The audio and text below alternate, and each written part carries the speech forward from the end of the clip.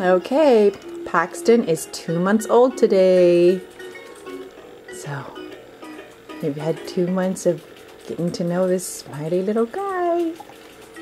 Always fun to see how much they've grown. Yes. Yes. Look at him. Have to take the video in the swing and then we'll just stop the swing for a moment because it's kind of difficult to actually see. There we go. There's our sweet baby. He loves to look at the toys. And his big brother is down for a nap, so he actually can look at them because when Elliot's awake, yes, we get a lot of interruptions. but that's okay. It's more fun with three. We love having Paxton here, don't we? Hey, handsome.